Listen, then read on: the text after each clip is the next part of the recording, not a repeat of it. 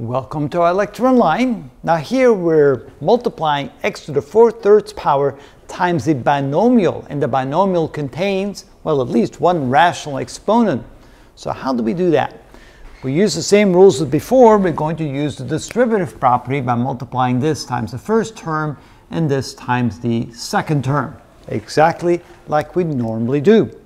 So what does that look like? Well, this becomes equal to x to the 4 thirds power times x to the minus 2 power minus, because we have a minus here, x to the 4 thirds power times 5x to the 9 halves power. So I simply wrote it like that. That makes it a little bit easier to deal with. Now notice we're multiplying and the bases are the same. Now here you may say, well, well, the bases are not the same. Well, they are because this is the numerical coefficient which can be placed in the front. So this can be written as x to the 4 thirds plus a negative 2 exponent minus, put the 5 in front, x to the 4 thirds plus 9 over 2. All right, let's work that out and see what we get.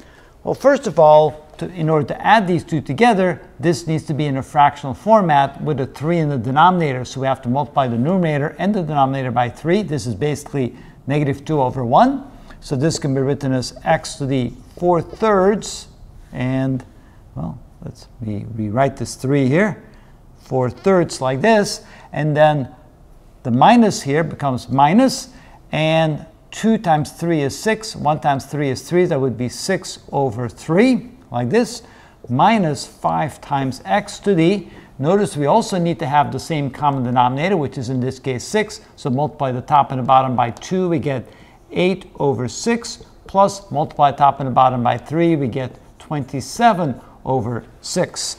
Now we have both of those fractional exponents with the same denominator. So this can be written as 4 minus 6, which is 2, x to the minus 2 thirds, minus 5x to the 8 plus 27 is 35 over 6. And let's see here, 35. No, that cannot be simplified anymore. But this has a negative exponent, and we're instructed to write only positive exponents. So we'll bring it to the denominator. So this is 1 over x to the 2 thirds power.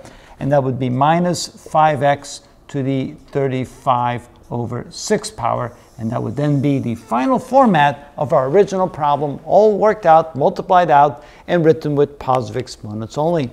And that is how it's done.